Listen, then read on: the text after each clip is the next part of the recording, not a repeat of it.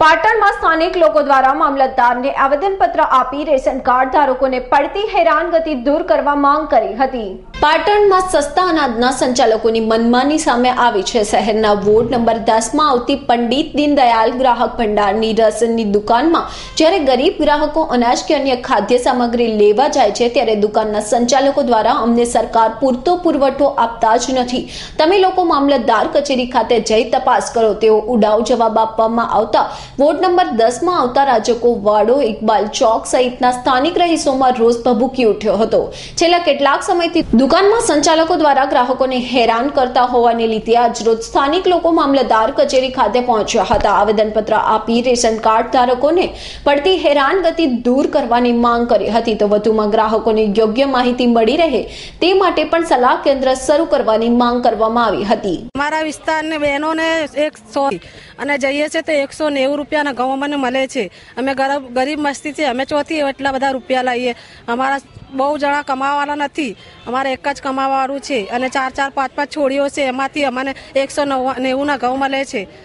ક્યારના આના છ, સાત મહિનાથી આવું મળે છે. હવે જઈએ છે તેમ કહે છે કે જાઓ મામલતદારમાં જાઓ, અમને ધક્કા મારે છે તો ઓછી જઈએ છે જ્યારે જઈએ ત્યારે અમને ધક્કા મારે છે. અમને બરોબર જવાબ હાલતા નથી ત્યાં. રાશન વાળા કોઈ જવાબ અમને હાલતું નથી. અમે જ્યાં જઈએ ત્યાં અમને એમ કહે છે કે જાઓ તમે મામલતદારમાં એવું કરો. મામલતદારમાં અહીંયા તો કઈ કશું કરતું નથી. સમગ્ર પાટણ શહેરમાં અને ખાસ કરીને વોર્ડ નંબર દસમાં છેલ્લા કેટલાય વર્ષોથી સરકાર દ્વારા જે વ્યવસ્થા કરવામાં આવી છે કે મધ્યમ વર્ગથી નીચેના પરિવારોને સરકાર દ્વારા સસ્તા અનાજની દુકાનોના માધ્યમથી વ્યાજબી ભાવે ઘઉં, ચોખા, તેલ, ખાંડની વ્યવસ્થા વર્ષોથી કરવામાં આવેલી છે. છેલ્લા ઘણા સમયથી અલગ અલગ સ્કીમો સરકાર મૂકે છે. પહેલાં નામ ચાલતું હતું સસ્તા અનાજની દુકાન, એનું નામ પંડિત દીનદયાળ ઉપાધ્યાય. જે નામો બદલે એનો વાંધો નથી, પણ નામની સાથે સાથે પદ્ધતિ ના બદલાવી જોઈએ. ખરેખર જરૂરિયાતવાળા પરિવારોને આ જે અનાજ અને ખાંડ કે તેલ જે મળતું હતું એ રેગ્યુલર મળવું જોઈએ. પરંતુ નવા ફોર્મ ભરાવ્યા છેલ્લા છ મહિનાથી ત્યારથી સમગ્ર પાટણમાં એક બૂમ ઉઠવા પામી છે કે સસ્તા અનાજની દુકાનોના સંચાલકો દ્વારા એવા જવાબ આપવામાં આવે છે કે અમને જ પુરવઠો મળતો નથી, તો અમે પ્રજાને ક્યાંથી આપીએ?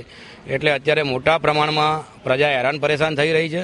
ખાસ કરીને વોર્ડ નંબર દસના લોકોને છેલ્લા છ મહિનેથી જે વસ્તુ મળવી જોઈએ, મળતી નથી, જેના ભાગરૂપે આજે અમે મામલતદાર સાહેબને રૂબરૂ મળી અને આવેદનપત્ર આપ્યું છે. ચેતન રામીનો રિપોર્ટ પાટણ.